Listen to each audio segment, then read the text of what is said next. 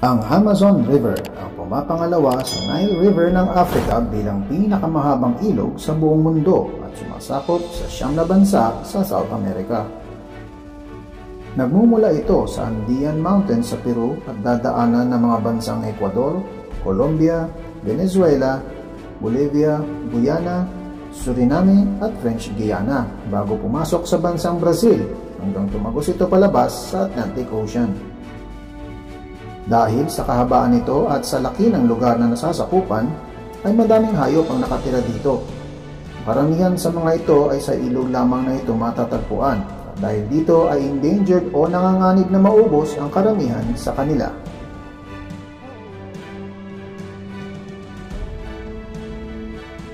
Arapaima Ang Arapaima ang isa sa pinakamalaking isda na nabubuhay sa ilog tabang. Umaabot ito ng 3 metro o kaya naman ay 9.8 feet ang haba at tinatawag itong piraruku o kaya naman ay paichi ng mga tao na nakatira sa malapit sa ilog. Mayroon itong malalaking mga kaliskis na parang armor sa kapal at kumakain din sila ng ibang isda o kaya naman minsan ay mga ibon o iba't pang hayop sa labas ng tubig dahil sa kaya din itong tumalon mula sa ilog para hulihin ang kanilang bibiktimahin. Isa itong popular na pagkain sa bansang Brazil at muntik nang maubos dahil dito. Kaya pinagbabawal na ng pamahalaan ng Brazil ang panguhuli dito. Dahil sa kakaibang katangian ng isdang ito ay inaalagaan din sila ng mga collectors ng mga monster fish at kahit sa Pilipinas ay may nag-aalaga nito. Piranha Isa sa pinaka kinatatakutan na isda sa Amazon River ay ang piranha Umabot ito sa haba ng dalawang talampakan at nagtataglay ng matatalim na ipin na mukhang lagari. Isa ito sa may pinakamalakas na panga sa mga isda at kaya-kaya nitong kumain ng mga hayop na mas malaki sa kanila dahil sa madalas ay madami sila kung umatake. Mga omnivores ang piranha na ibig sabihin ay kumakain sila ng halaman at karne. Karamihan sa mga uri ng pirana ay hindi delikado sa tao at pinatatakutan lang sila dahil sa mga pelikula na ginawa tungkol sa kanila.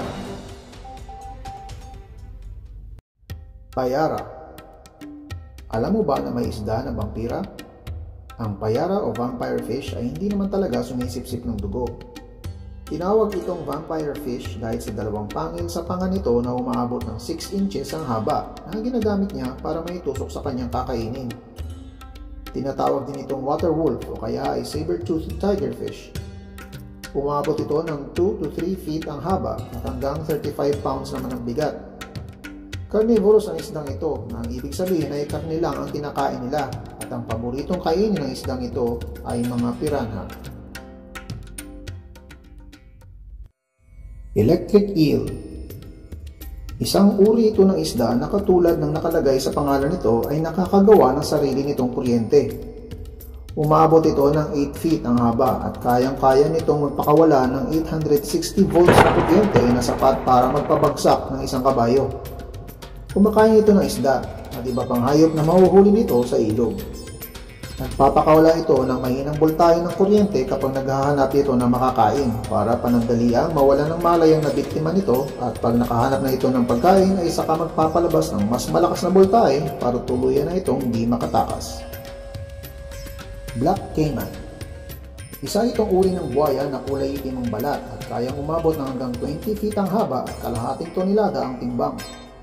Ito ang pinakamalaki at pinakadelikadong reptile sa buong Amazon lahat ng maaari nitong kainin ay kinakain ito kahit nakapwa mga buhaya nito na mas maliit sa kanya.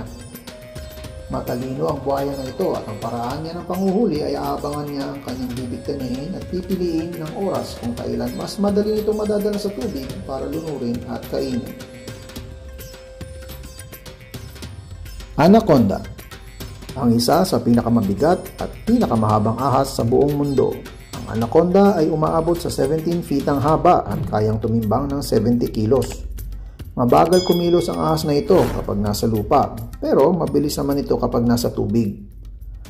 Walang kamandag ang anaconda, pero ang paraan ng panguhuli nito ay kapag nakagat na ang kanyang biktima ay lilingkisin niya ito hanggang sa hindi na makahinga at madurog ang mga buto sa kakakainin ng buo. Mayroon silang tinatawag na expandable jaw para magkasya ang kanilang pagkain gaano man ito kalaki. Isa din itong carnivore kaya mga hayop na matatagpuan din sa Amazon ang kinakain nito.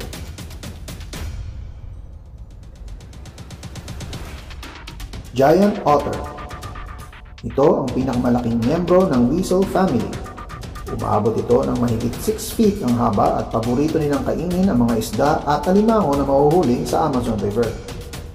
Kaya nila kumain hanggang 4 na kilo ng seafood sa isang araw. Tinatawag din silang mga river wolves dahil madalas ay isang pangkat sila kapag naghahunting ng kanilang kakainin at kayang-kaya nilang hulihin at kainin maging ang anaconda at ang mga caiman. Amazon River Dolphin Tinatawag din itong Pink River Dolphin dahil sa kulay ng balat ng mga ito. Isa ito sa mga uri ng dolphin na sa ilog tabang ng Amazon lamang makikita at umaabot sa walong talampakan ang haba nito at mahigit sa 150 kilos ang bigat.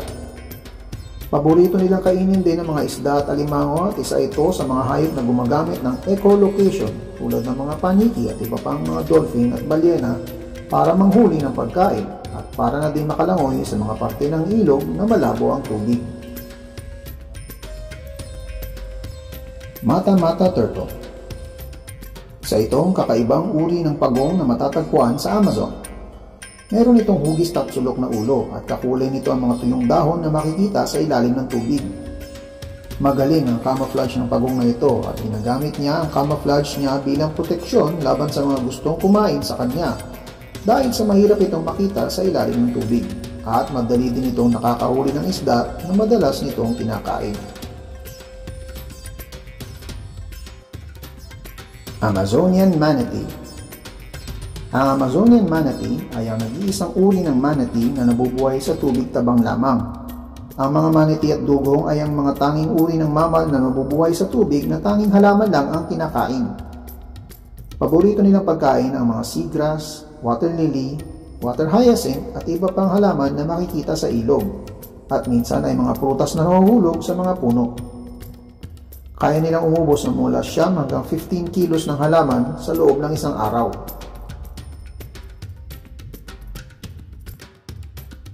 At ito ang sampung kakaibang hayop na makikita sa Amazon River. Kung nagustuhan mo ang video na ito ay mag-subscribe ka na at i-ring na din ang notification bell para ma-update ka tuwing may bago tayong video. Maraming salamat po.